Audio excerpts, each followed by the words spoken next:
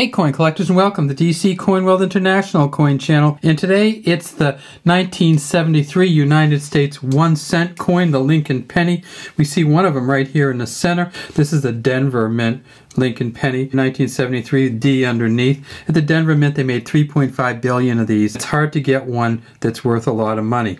However, if you find a MS or Mint State 67 Plus, they've only found one of them so far. It's worth about $4,500. At the Philadelphia Mint, they made 3.7 billion of these, and they found four MS 67 Pluses, and those are worth about $4,500 each. This is a 1973 Philadelphia. We have no mint mark underneath. We see that the L in the Liberty is kind of sticking a little bit to the side. That happens sometimes.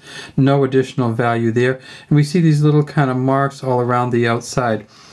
This is a copper and zinc coin. 95% copper, 5% zinc, and sometimes the zinc kind of comes through a little bit in these. Then we get onto the back, we see that it's United States of America, e pluribus unum.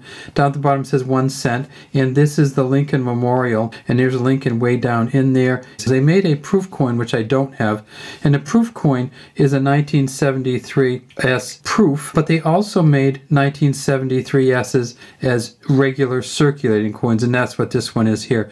They made 320 million of the 1973 S's. They have found 15 MS67s, and those are worth about $600 each. But they made 2.8 million proof sets, and they found three proof 70s so far, and those are worth $5,250. If you get the best of all four different ones, you're talking about $15,000 worth of pennies.